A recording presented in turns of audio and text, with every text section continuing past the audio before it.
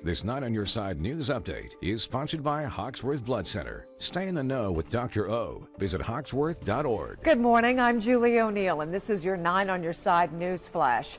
There will be heightened security this morning at Covington Catholic. Students returning to class amid numerous threats made to the school and students. Officers are working to see if any are legitimate. Nine on Your Side spoke with Kenton County Prosecutor Rob Sanders. He confirms individuals are also receiving threats.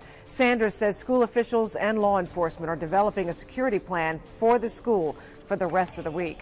St. Bernard firefighters responded to a fire at Jeffers Moving and Storage Company. The call came in shortly before 1 this morning. Fire crews say smoke was coming from the roof of the building. One employee was treated for minor smoke inhalation.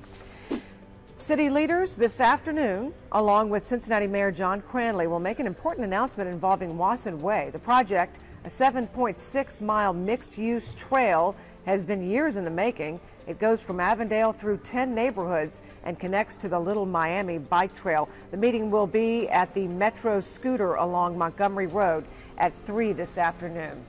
This has been a 9 on your side news flash. I'm Julie O'Neill. Follow me on Facebook and Twitter, Julie O'Neill WCPO.